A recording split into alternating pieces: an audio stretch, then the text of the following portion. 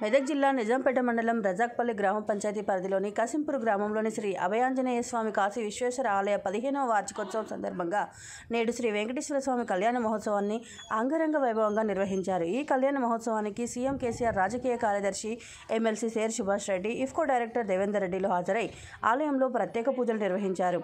అనంతరం ఆలయ కమిటీ సభ్యులు వారికి సాల్వా కప్పి సన్మానించారు. ఈ సందర్భంగా వారు మాట్లాడుతూ మారుమూల గ్రామమైన కసింపూర్ గ్రామంలో అంత్య ప్రతాప్ రెడ్డి ఆలయం నిర్మించడం గొప్ప విశేషమన్నారు. ప్రతి సంవత్సరం ఆలయ వార్షికోత్సవ వేడుకలు నిర్వహించడం జరుగుతుందన్నారు.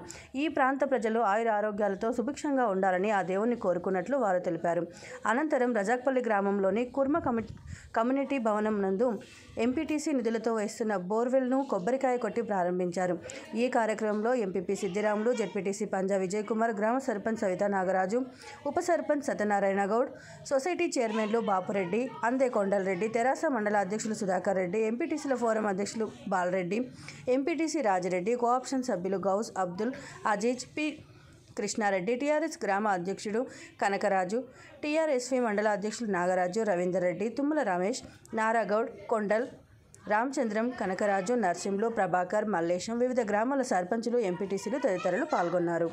ఈ గ్రామవాసి అయినటువంటి అందే ప్రతాప్ రెడ్డి గారి దంపతులు ఈ గ్రామంలో పుట్టి పెరిగి ఈ గ్రామం నుంచి ఒక ఉన్నత స్థితిలోకి వచ్చినందుకు వారి గ్రామాన్ని మరవకుండా ఈ గ్రామంలో మారుమూల గ్రామమైనటువంటి ఈ కాశంపూర్ గ్రామంలో వారు సీతారాముల యొక్క ఆంజనేయుని యొక్క విగ్రహ ప్రతిష్ఠ చేయడము ఇక్కడ గుడి కట్టియడము తర్వాత ప్రతి సంవత్సరం కూడా వచ్చేసిందంటే ఇక్కడ మంచి కార్యక్రమాలు చేయడము కళ్యాణం చేయడము వార్షికోత్సవం చేయడము.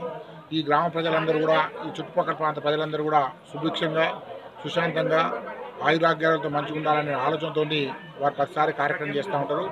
ఇది నేను మూడోసారి రావడం. గత పదిహేను సంవత్సరాల నుంచి కూడా ఈ కార్యక్రమాన్ని ప్రతాప్ రెడ్డి గారి దంపతులు నిర్విఘ్నంగా చేస్తూ ఉన్నారు.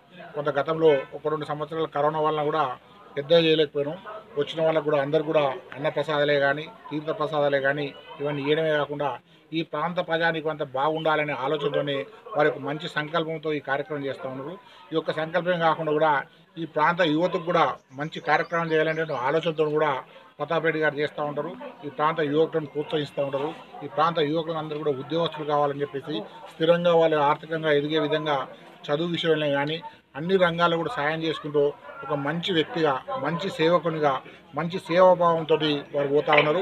నిజంగా కూడా వారికి ప్రతాప్ రెడ్డి గారికి నేను ఆంజనేయ స్వామి గారిని ఈశ్వరుని గారిని యజ్ఞేశ్వరుని కూడా నేను కోరుతా ఉన్నాను. ఏంటంటే వారికి ఆయురాగ్యాలు ఇచ్చేసి ఇంకా కూడా మంచి కార్యక్రమాలు ఈ ప్రాంతాన్ని చేసే విధంగా ఈ ప్రాంతం సుభిక్షంగా ఉండే విధంగా ఈ ప్రాంత ప్రజానికి అన్ని మంచిగా ఉండే విధంగా ఇంకా ఇట్లాంటి ఎన్నో కార్యక్రమాలు చేయాలని చెప్పేసి నేను కోరుకుంటూ ఆ దేవుని కోరుకుంటూ నేను సెలవు తీసుకుంటున్నాను.